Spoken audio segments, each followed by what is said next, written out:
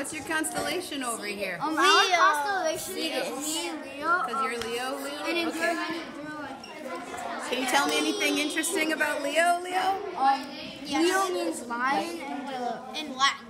Tell me something that you've learned about Leo. um, um, Latin for Leo is lion. are we gonna have? Oh, you're telling me about the name? Yeah, And it means what? lion.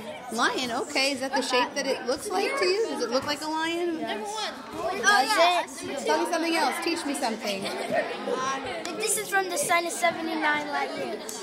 Distance from the sun, 79. No, that's Regulus. Regulus. The star that's It's the star. Oh, part. just one star. Okay, Regulus. Um, Okay. One night in 1833, it looked like stars were falling. Wait, what'd you say? One night in 1833, it looked like stars were falling from the sky. Oh, and they were coming from this constellation? Or? Yep. Oh, okay. We're going to position it in the room in a moment. Let's see.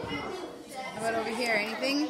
We're doing Cetus. Cetus. And you go Cetus like a billion times. What is Cetus supposed to look like? Um, it's supposed to look like a sea monster. Does it? Yes. Kind of. Hence the name? It, it kind of looks like the Loch Ness monster for some reason. Oh, Where's our fun facts? It kind of does. Where are our fun facts? Oh. Dufta. Yeah. Um, Cetus was named after a sea monster that tried to eat Princess Edremoda. Okay, now make sure you memorize that so we're not watching you read it. Okay, good. Excellent. Oh, come back.